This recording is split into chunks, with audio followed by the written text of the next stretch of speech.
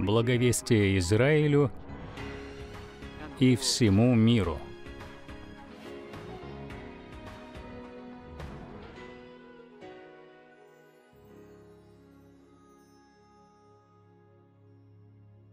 Добрый день, наши дорогие зрители. Дорогая, поприветствую наших зрителей.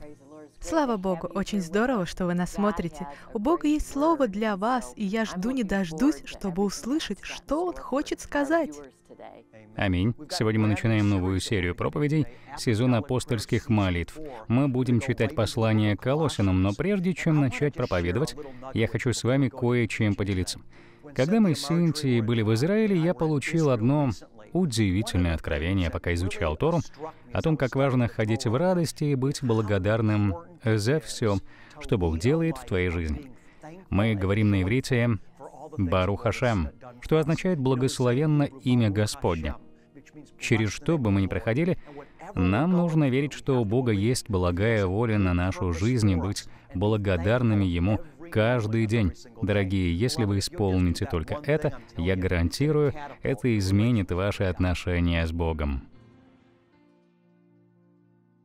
Прежде чем мы приступим к Божьему Слову, я хотел бы вместе с вами вознести свои сердца к Отцу.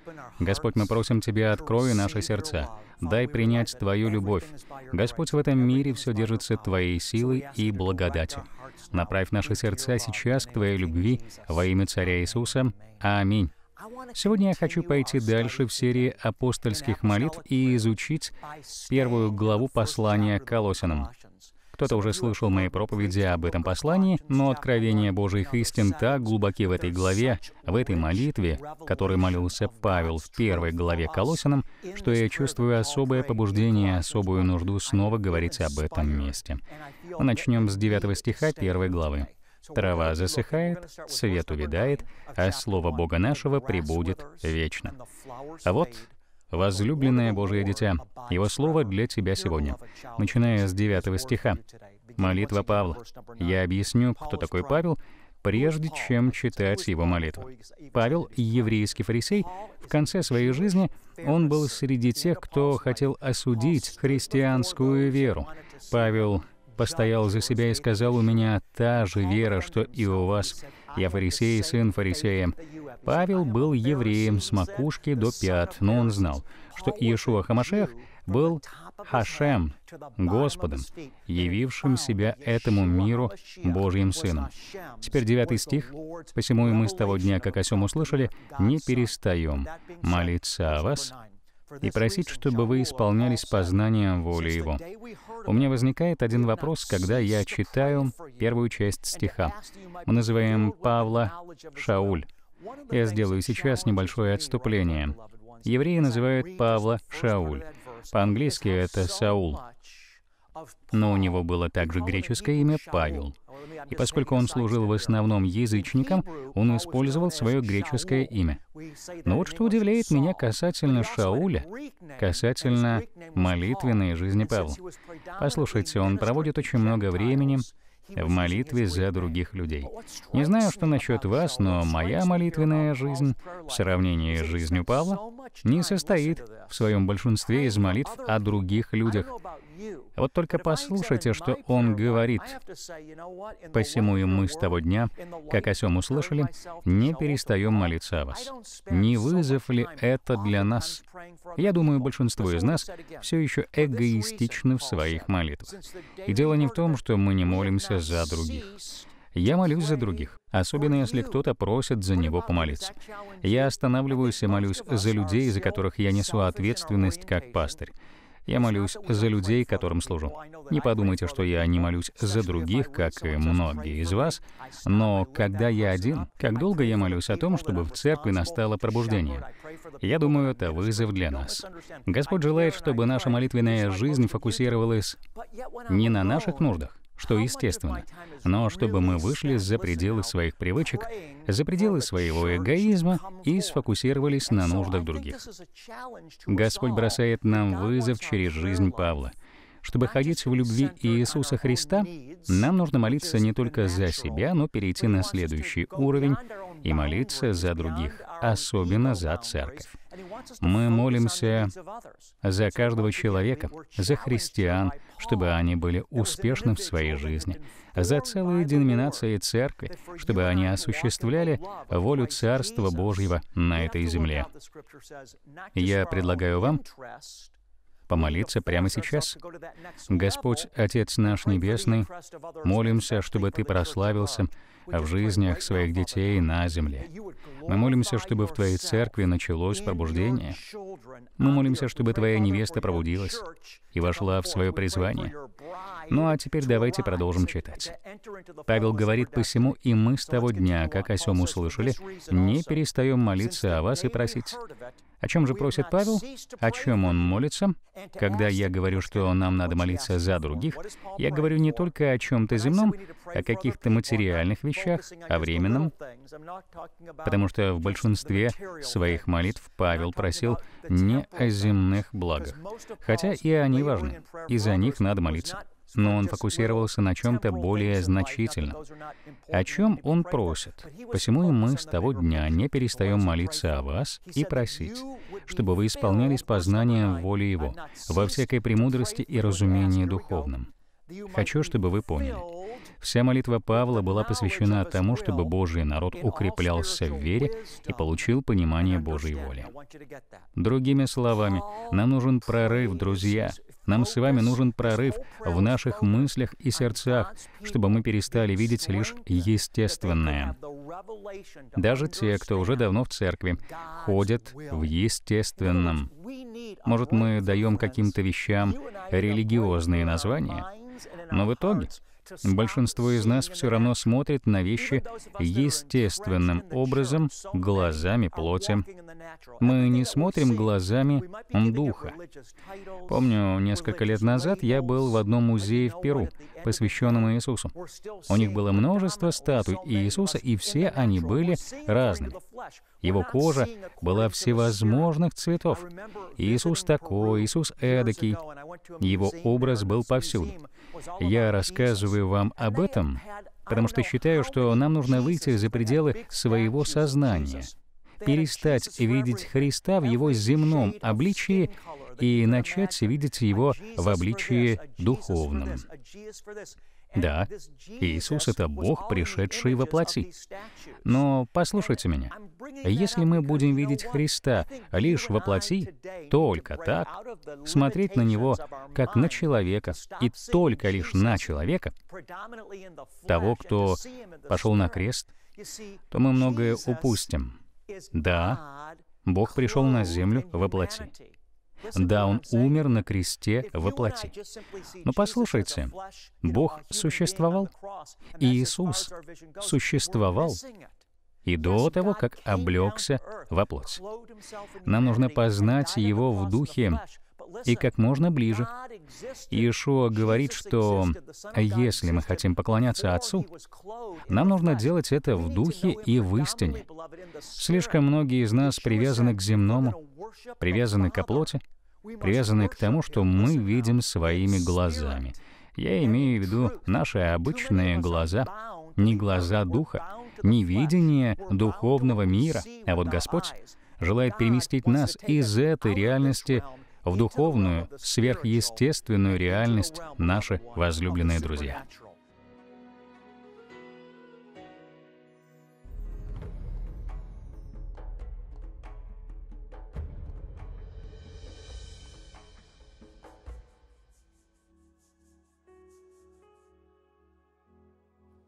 Одной из самых удивительных историй спасения, которые нам доводилось видеть, стала история спасения одного городского вора. Он заводил дружбу с людьми, чтобы войти к ним в доверие, и потом обкрадывал их. Он воровал даже из церквей. Этот человек — главарь всех воров в городе. Он ворует уже долгое время. Он обокрал многих людей. Он угонял мотоциклы, обкрадывал магазины. Люди не знали, что он вор, он притворялся, потому что привык к этому. Он не знал, каким человеком он был. Прошлым вечером его коснулось слово Равина, и он всю ночь не спал. Он позвонил мне сегодня в 6 утра и сказал, что хочет принять Иисуса Христа своим Спасителем. Было удивительно видеть, как такой ранимый мужчина стал перед всеми горожанами и покаялся в своих грехах. Смотреть, как сила Евангелия Христа так сильно преображает жизнь человека, это удивительно. На этой неделе я ограбил церковь. Но после проповеди Равина я почувствовал обличение. Еще вчера я был вором, а сегодня я уже ученик Господа Иисуса Христа.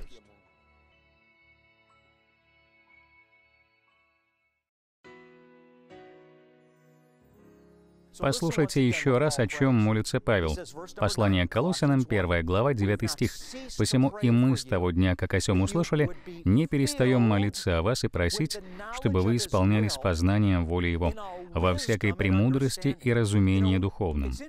Интересно, что Павел говорит об исполнении познанием воли Его, во всякой премудрости и разумении духовном. Интересно, потому что очень часто Иисус олицетворяет мудрость, особенно в еврейской Библии. В книге притчи Иисус олицетворяет собою мудрость. Он есть мудрость. В Писании сказано, что Христос Иисус стал для нас мудростью. А что есть мудрость? Быть мудрым значит во всех жизненных ситуациях знать, что делать в духе. Мудрость помогает нам контролировать наши чувства. Мудрость помогает нам контролировать всевозможные запросы и возможности, выбирать правильный путь. Именно мудрость помогает нам понять, нужно ли нам протянуть руку или нам нужно отступить. Мудрость помогает нам не свернуть с пути, которые для нас вымостил Царь Иисус. Нам нужна мудрость, Наша вера уникальна тем, что берет свое начало в иудаизме. А в иудаизме все должно сперва провериться мудростью. Хороши наши чувства, наше тело, наши отношения — но чтобы обрести баланс хождения в истине, нам нужно с помощью мудрости контролировать все, что нас окружает. Мудрость приходит по Божьей воле. Мудрость дает нам возможность выбирать. У нас есть три опции. Как понять, что мы выбрали верно? Даже в голове у нас всегда есть много вариантов, о чем подумать. Много вариантов, на чем сфокусироваться. Когда эта передача закончится, проанализируйте то, о чем вы думаете. Постарайтесь понять, о чем именно вы думаете. У вас есть возможность выбирать, о чем думать. Но часто мы позволяем мыслям спокойно приходить к нам на ум. Мы не знаем, откуда они пришли и почему мы думаем об этом. Часто фильтр в нашей голове через который проходят потоки мыслей, неисправен из-за травмирующего опыта в прошлом. Поэтому эти потоки ничто не сдерживает. Это мысли, навязываемые страхом и тревогой. Они мешают нам жить. Но когда мы мудры и умеем слушать себя, мы начинаем обращать внимание на свои мысли и обращаемся к Богу за мудростью и силой, которая меняет траекторию наших мыслей, помогает сконцентрироваться на хорошем. Тогда мы движемся в Его воле и живем в полноте Духа. Я повторю. Павел говорит, чтобы вы исполнялись познанием воли Его во всякой премудрости и разумении духовном. Вот что важно. Я обращаюсь сейчас не только к женщинам, но и к мужчинам. Но к вам, прекрасные Божьи дочери, я обращаюсь в первую очередь. Когда Павел начинает молиться, а он желает, чтобы все ходили в познание Христа, обратите внимание, с каких слов он начинает. Он желает, чтобы мы наполнялись познанием Его воли, премудростью и разумением духовным. То есть Он желает, чтобы мы наполнились знанием, мудростью и пониманием. Он говорит, «Я молюсь за вас, чтобы вы становились теми, кем Господь призвал вас быть. Я молюсь, чтобы помимо всего прочего у вас была мудрость и понимание. Почему я акцентирую на этом внимание? Потому что очень часто люди руководствуются не мудростью и пониманием, а своими собственными импульсами. Послушайте, своими чувствами. Господь научил меня этому однажды — не руководствоваться своими чувствами. Мудрость находится в голове. Ведь так? Мудрость из сферы разума. А вот что здесь говорит Господь. Особенно Он обращается к девушкам, потому что они умеют чувствовать, как никто другой. Женщины намного более чувствительны, чем мужчины в каких-то сферах. Дух женственности — это дар Святого Духа. Но нам нужно иметь контроль над чувствами и чувствительностью. Этого можно добиться с помощью мудрости, понимания и познания Его воли. Это наш венец — ходить в познание Его воли. Когда нас атакуют чувства, импульсы, инстинкты — когда у нас много вариантов, куда пойти, что делать, что сказать, как мыслить.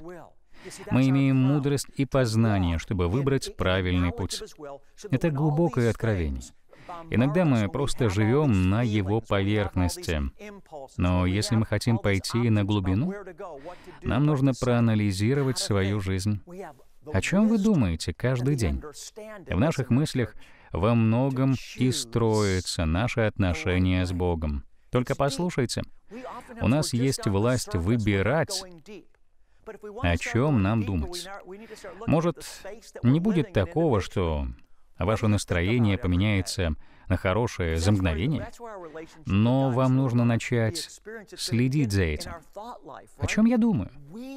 Почему я грущу? В чем причина? Ты начинаешь понимать, что делаешь, когда анализируешь свои мысли и молишься Хашем, молишься Господу, говоришь с Богом, поддерживаешь с Ним общение. Никогда не переставайте говорить с Богом. Продолжайте это делать.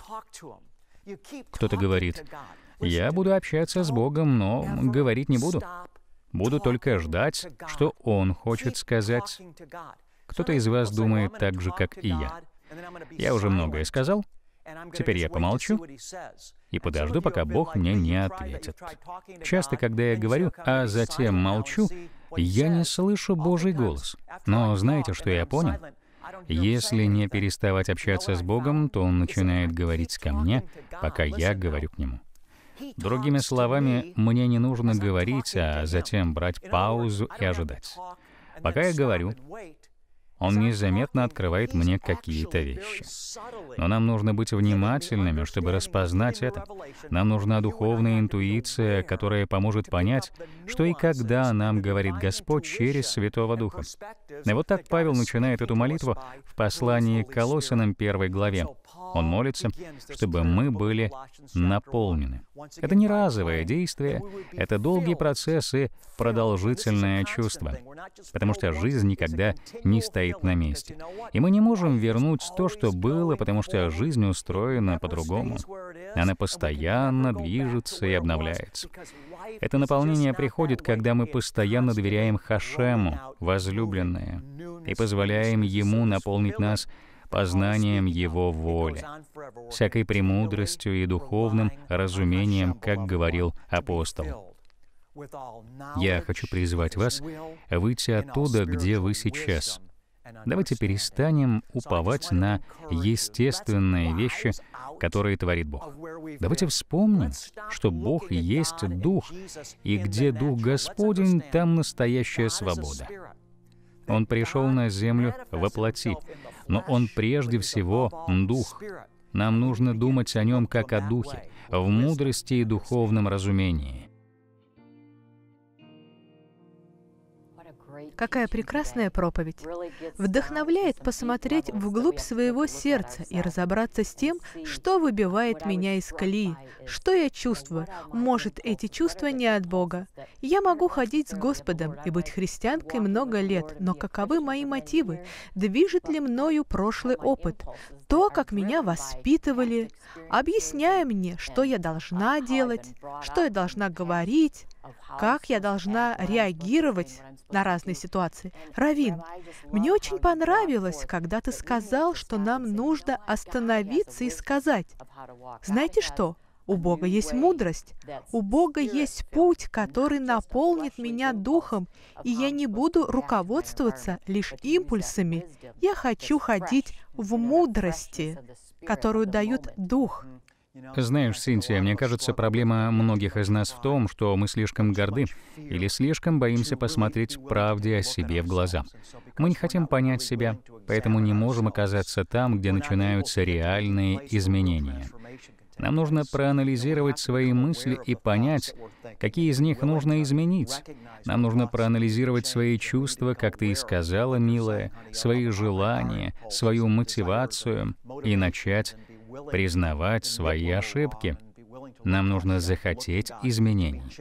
Но многие из нас, опять же, из-за своей гордыни, страха, комплексов, не могут измениться, потому что просто не хотят анализировать себя, сделать первый шаг да, самоанализ — это не всегда просто, но нам нужно побороть свой страх и позволить Духу Святому сиять.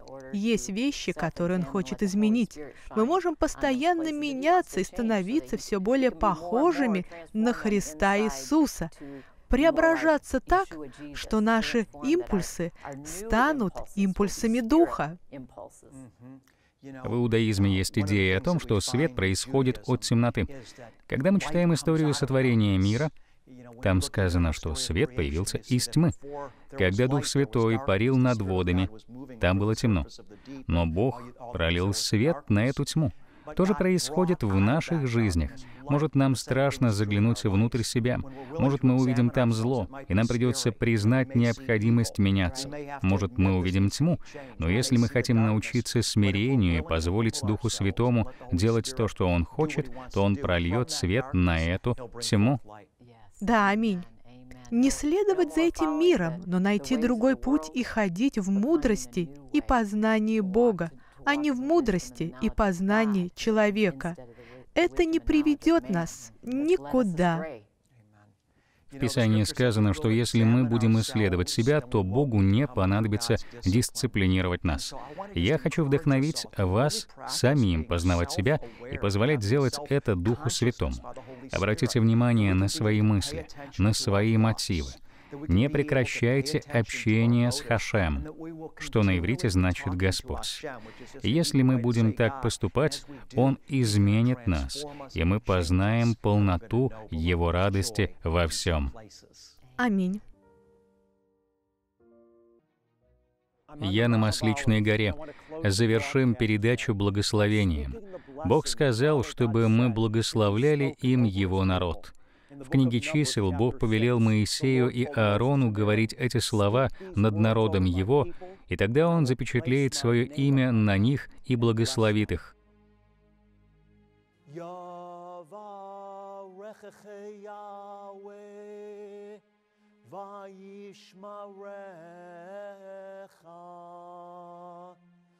Ya'er Yahweh panav elecha ויחונך יישא יהוה פניו אליך וישם לך שלום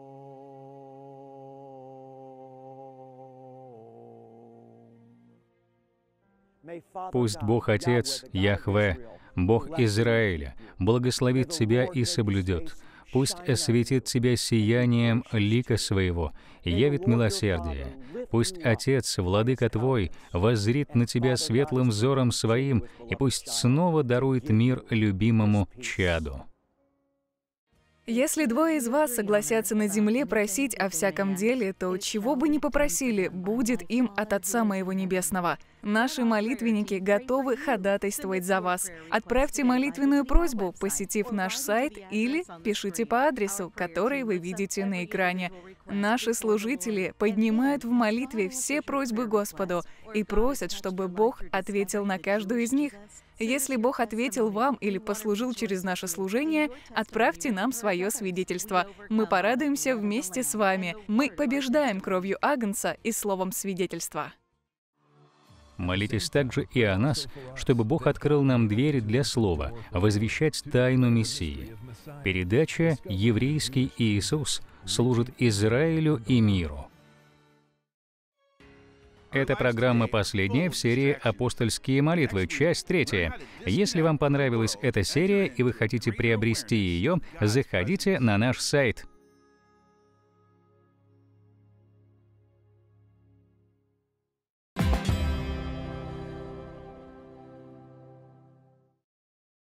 Вы получаете назидание в вере и обновление через проповеди Равина. Если вы получаете благословение через проповеди Равина Шнайдера, мы приглашаем вас стать нашим партнером. Достигая Израиля весь мир, заходите на наш сайт или позвоните нам по телефону на экране, чтобы стать партнером в служении Равина, снарядить тело Христа, созидать церковь и благовествовать этому миру. Благодаря вашей поддержке служение, узнавая еврейского Иисуса, сможет достичь мест, которые мы не смогли бы достичь без вашего участия. Вместе мы производим перемены и готовим путь для возвращения Царя Иисуса. В сегодняшней программе мы говорили о хождении в мудрости. Мудрость имеет огромную роль в нашей жизни. Одна из сфер, в которой нам необходима мудрость, это сфера финансов. Истина в том, возлюбленная, что когда мы почитаем Бога своими финансами, мы тем самым ставим Бога на первое место в своей жизни. Это глупо не почитать Бога своими финансами. В книге пророка Малахии Господь пообещал благословить нас. Если мы отдаем Ему первые плоды, отдаем Ему свои финансы. Он высвобождает на нас небесные благословения. А когда мы не почитаем Бога своими финансами, тогда в нас говорит отсутствие мудрости, потому что не отдавая Богу пожертвования, мы на самом деле закрываем свое сердце и отказываемся доверять Ему так, как Он этого достоин. Я хочу обратиться к вам сегодня если это служение стало для вас благословением, если вы верите, что познание еврейского Иисуса — это миссия от Бога, то я хочу, чтобы вы открыли свои сердца и позволили Духу Святому говорить к вам. Если Господь призывает вас пожертвовать Ему через это служение, возлюбленные, будьте послушны и сделайте это. Как стать нашим партнером? Отправьте пожертвование, не облагаемое налогом, на адрес, который на экране. Пожертвовать онлайн можно, зайдя по ссылке нашего сайта. Пожертвовать через кредитку можно по телефону, который на экране. Или же отправьте смс на данный телефонный номер. В знак признательности мы отправим вам аудиопроповедь месяца и свежий вестник. Благодаря вашему дару Израиль и мир спасутся, исцелятся и получат освобождение через телевидение интернет и массовые богослужения. Многие были верны Господу через свои даяния. Кто желает пожертвовать финансы и имущество служению еврейский Иисус, зайдите на наш сайт. Откровение сегодня для лучшего завтра. Смотрите программу «Узнавая еврейского Иисуса» на своем носителе. Подпишитесь на наше обновление. Следите за нашими новостями в Фейсбуке, Твиттере, Инстаграме и подпишитесь на нас в Ютубе. Присоединиться к служению «Узнавая еврейского Иисуса» очень легко. Будьте с нами!